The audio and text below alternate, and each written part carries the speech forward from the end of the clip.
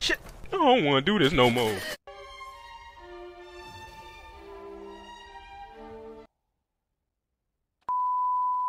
Hello guys, this is Delusional here. I have another little guide video, I guess, for Yoshimitsu.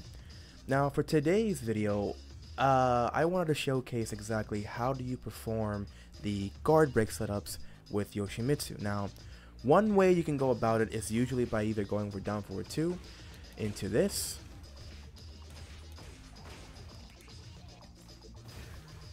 and that's it.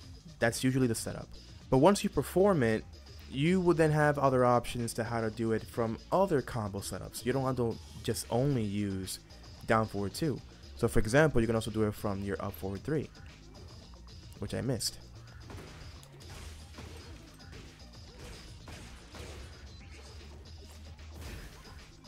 You can do it from Kensho back to 1.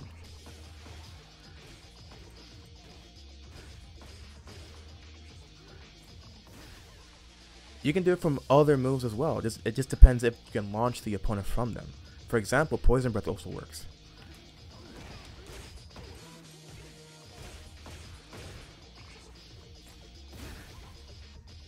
Now the great thing about this particular type of guard break setup is that no matter what the individual player is going to do, let's say for example if they decide that they want to go for a wake up mid kick or a wake up low kick,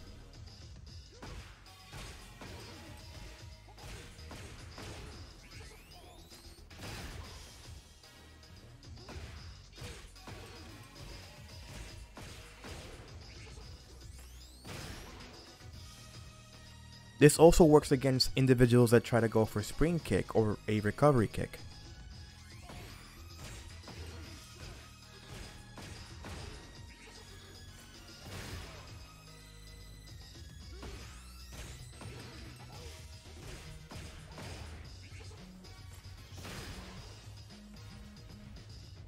It also works against individuals that tend to go for a quick recovery instead.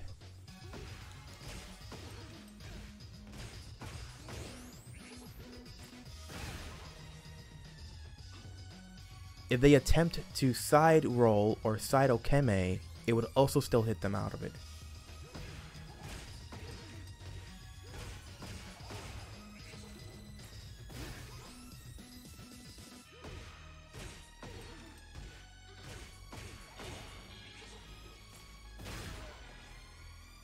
The only weakness when doing this setup is if they decide to do a quick back roll away from you.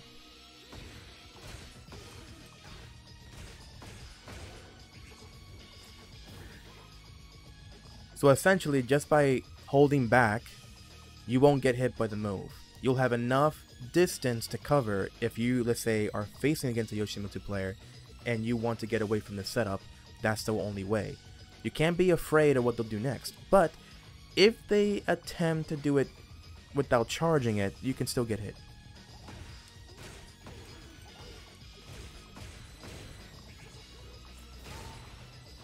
So that's the other caveat when doing this setup. This is why this setup is super good. Because whatever the opponent may do, they'll still end up losing. But that's why the opponent has to think, is the Yoshimitsu going to go for the charge up version so then I can then back roll away? Or is he going to go for the faster version, which if he were to use the faster version instead,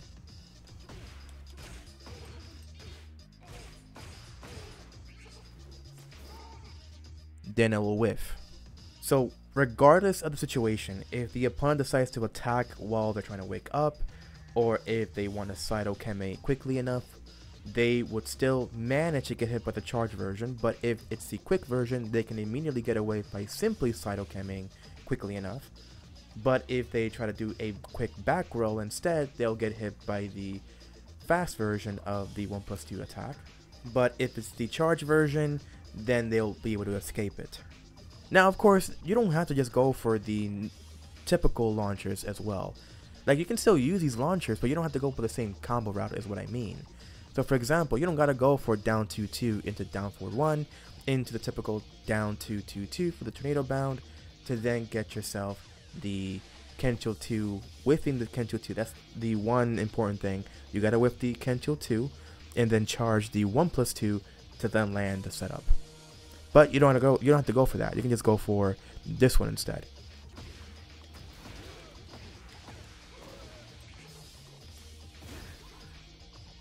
This also works.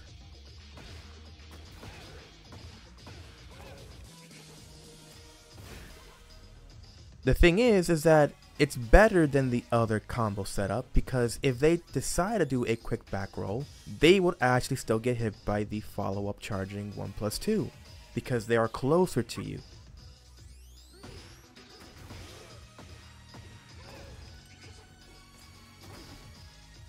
But this also means that other particular types of moves can actually hit out of Yoshimitsu attempting to do the 1 plus 2.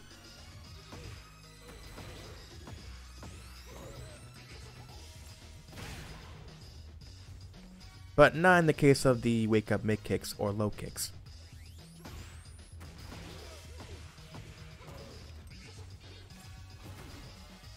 And recovery kick actually does work against this particular setup if you use this combo route.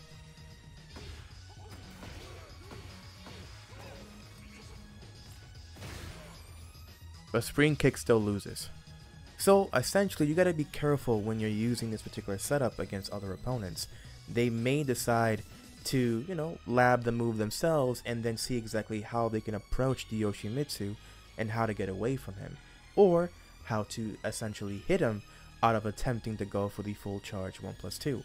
Now you may be wondering what can you try to go for if the opponent does get guard broken by the move?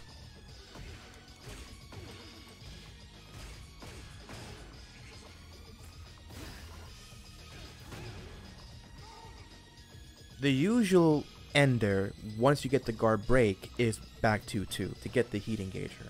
From there, you have massive opportunities to then land any of your unblockables if they don't just stand there like a scarecrow essentially. Or you can go by jabbing them out to see whether or not if they will attack you because they're worried about your incoming unblockables. Now the best thing about this setup also is that if you're in your heat state and you try to perform this combo,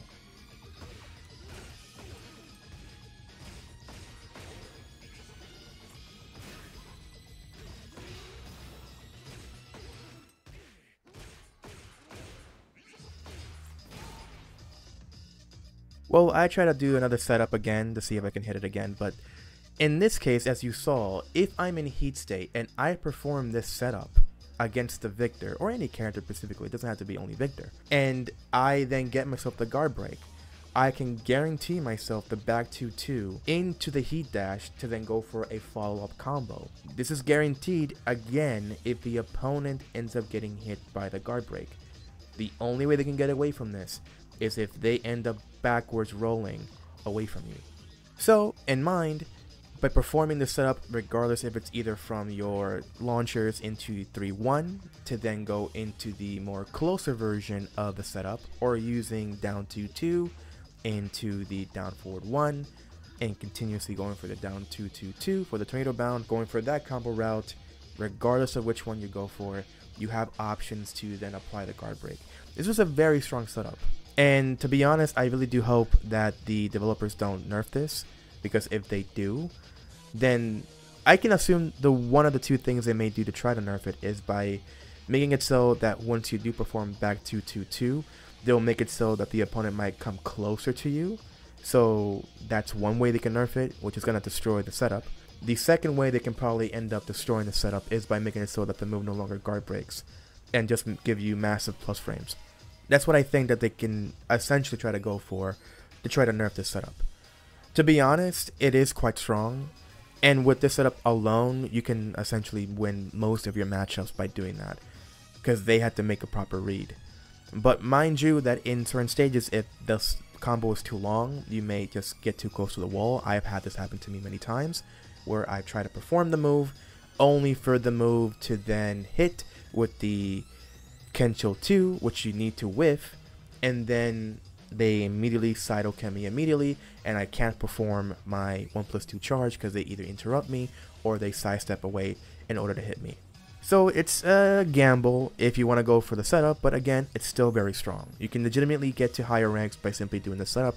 I don't do it often simply because I don't want to use it as a clutch, if anything, or use it as a the be all end all type of setup. Because eventually players would figure out how to beat it, and then if that happens, then it becomes a problem during the matchup. So if you learned something with this, I hope that this would actually improve your gameplay.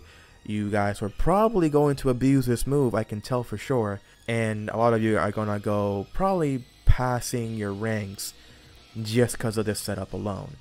So if you enjoyed the video, give it a like, dislike if you want to, subscribe to see more of my shit, and stay tuned.